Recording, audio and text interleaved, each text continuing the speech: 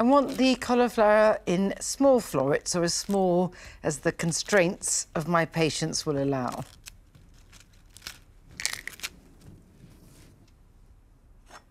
I can't take much credit for this transformation because it's all down to the warm spices and the heat of the oven.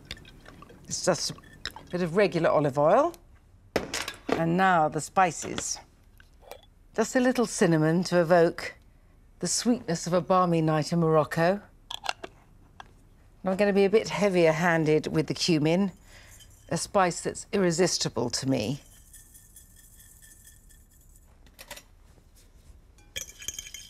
I want to disperse the spices in the oil to stop them clumping in the oven later. And now, in these go.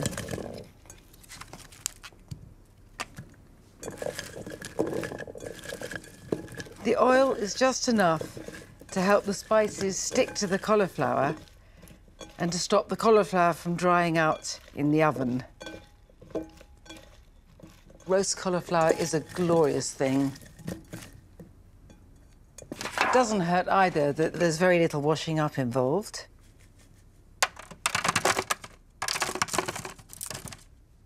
Right, this goes into a hot oven, and I mean hot.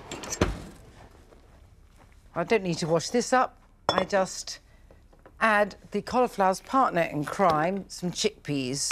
You can use canned chickpeas too, but the ones in a jar are really lush. And to these, I want the heat of harissa, Moroccan chili paste. I'm dolloping in quite a lot because both the cauliflower and chickpeas can withstand a bit of fierceness.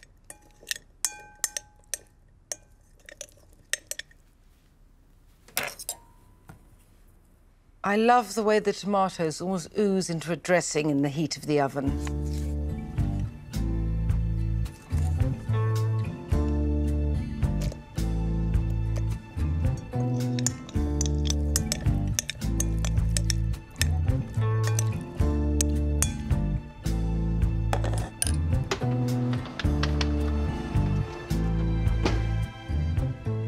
Cauliflower has already lost its Victorian pallor and things are really going to brighten up for it now.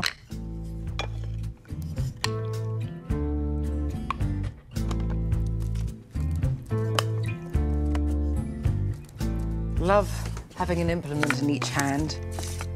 Makes me feel busy, but in an unchallenging way. And this goes back in just so the cauliflower cooks a little more. The chickpeas are already cooked.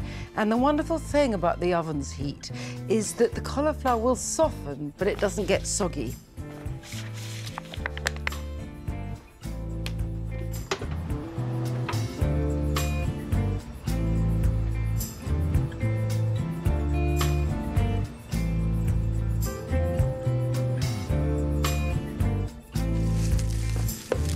I'm grabbing a hefty amount of parsley because I don't want it as mere decoration, but as the salad leaf itself.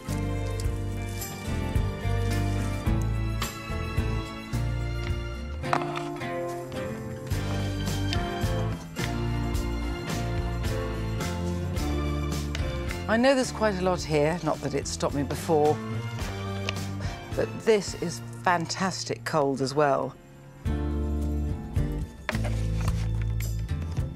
Lunch tomorrow.